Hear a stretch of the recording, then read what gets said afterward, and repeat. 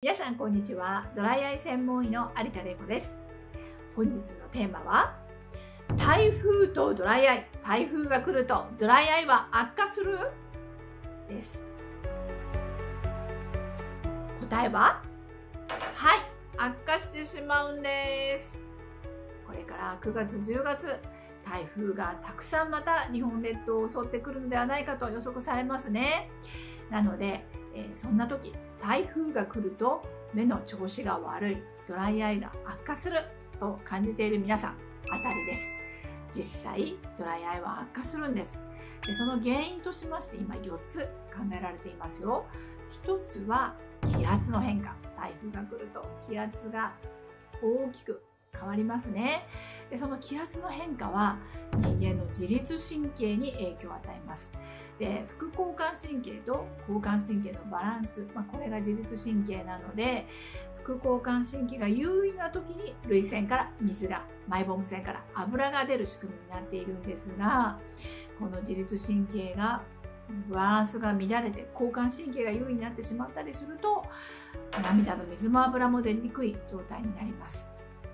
ですので気圧の変化っていうのは涙には大敵なんです。そして2つ目の理由として湿度の変化。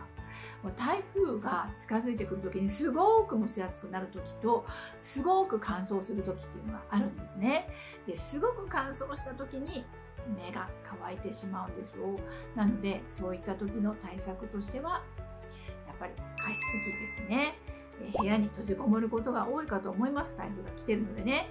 風も強いし危ない。なのでこういった加湿器でお家の湿度を上げかつ根元周囲の湿度も上げましょう。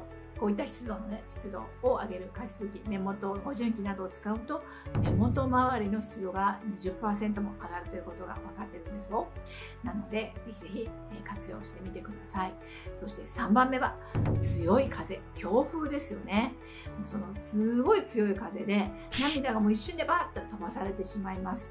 ですのでそういった時の対策としてはやっぱり眼鏡をかけていただくこととあとは強風の中に行かないもうなるべくお部屋の中にいるのがおすすめです。